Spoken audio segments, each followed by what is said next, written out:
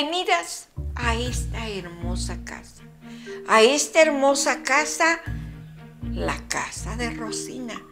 Porque aquí te encuentras a gusto, te sientes bien, aprendes mucho. ¿Y sabes qué me da mucho gusto?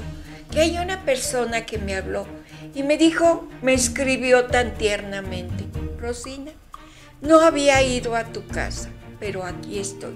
Si quieres, invítame un cafecito. Pero ella vive muy lejos, que ha tenido un poquito de compromisos. Ya me los platicó, pero va a salir adelante, sé que va a salir adelante, porque yo sé que la vida forma parte de un aprendizaje y tú formas parte de ella. Quiero que aprendas yo siempre les digo algo, por más alto que estés, no olvides jamás tu procedencia. Aquí en donde yo vivo se dice, no olviden los guaraches, porque entre más alto estés, más humilde debes de ser. Y debes de comprender a la gente, no de que tienen un estatus un poquito alto y se olvidan de la procedencia. Yo les conmino a que mediten esto, a que aprendan y sobre todo vamos a aprender otro de lo tanto que me han pedido. Vamos a hacer una blusa con cola de pato. Ustedes ya las conocen, pero yo te voy a enseñar lo fácil que es y la vamos a hacer muy elegante, adornada y sobre todo para que aprendas.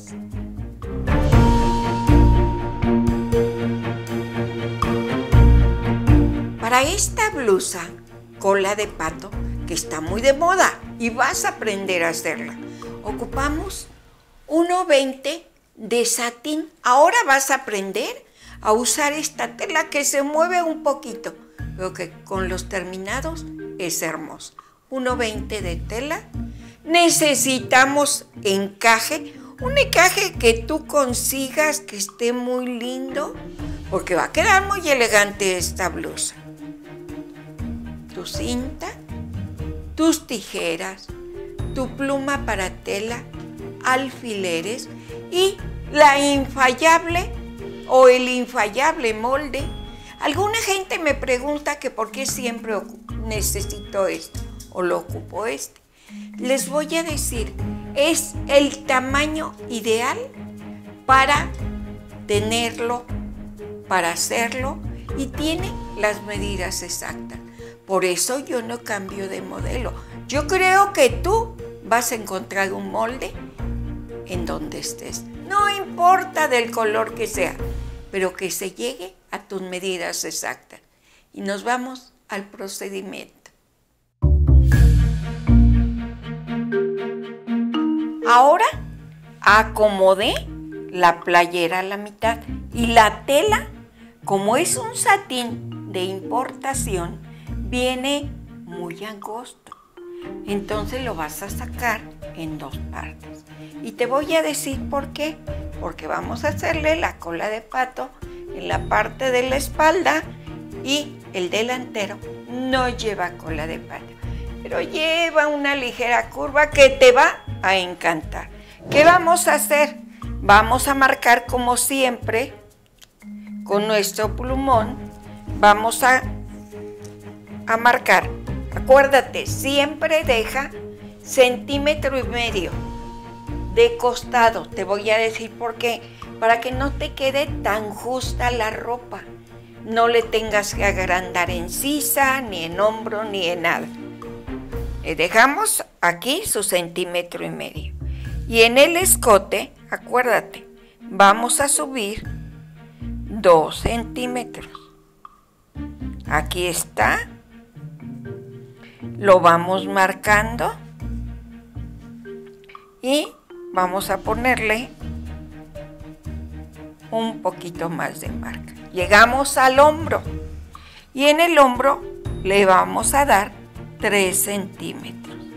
Sobre todo porque el satín es una tela un poquito resbalosita que te va a costar un poquito de trabajo Pero como te decía, el terminado es el hermoso. Aquí está, salimos hasta encontrar la línea del hombro. Y así lo vamos marcando.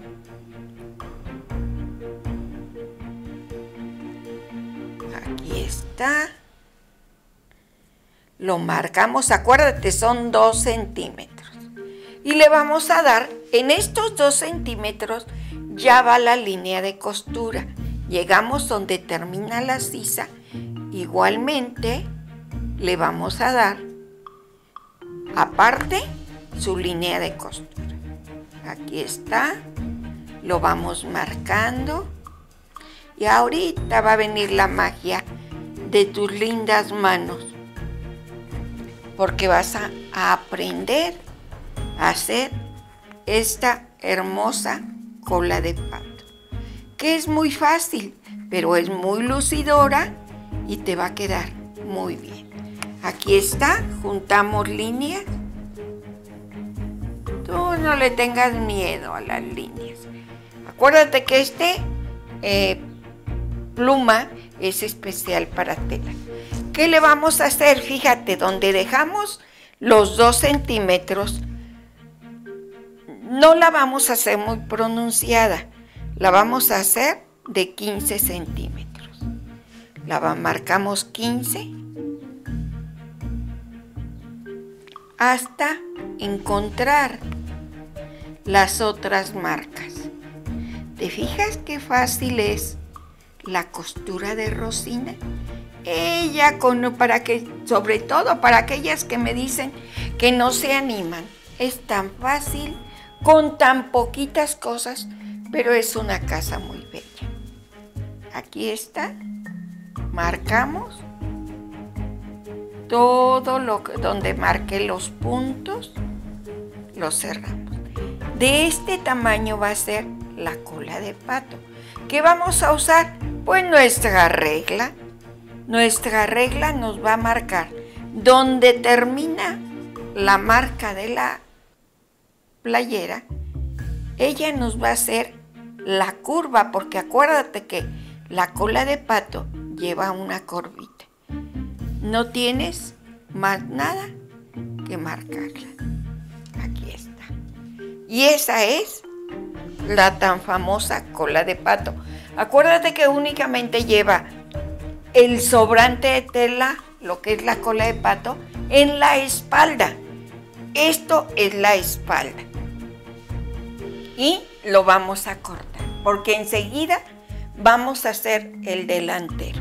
Aquí ya pasé lo que habíamos marcado con la espalda, porque la espalda lleva una curva bastante pronunciada. ¿Qué hice con esto? Que únicamente marqué aquí hasta donde va a ser costura, porque acuérdate que este es el delantero. Vamos a ponerle lo alto que queramos del delantero.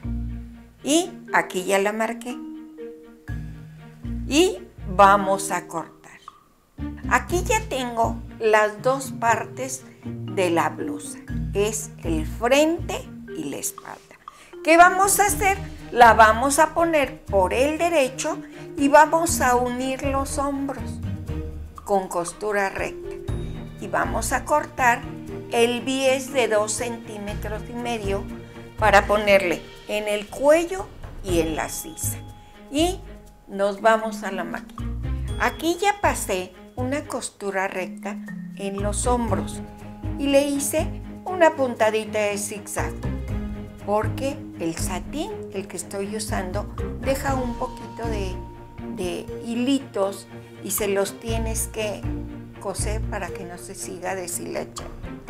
Y aquí tengo ya mis tiras de 10 que como tú lo vas a aprender en Rosina Responde, ahí vas a saber cortar los pies para el cuello. ¿Cómo le vamos a hacer?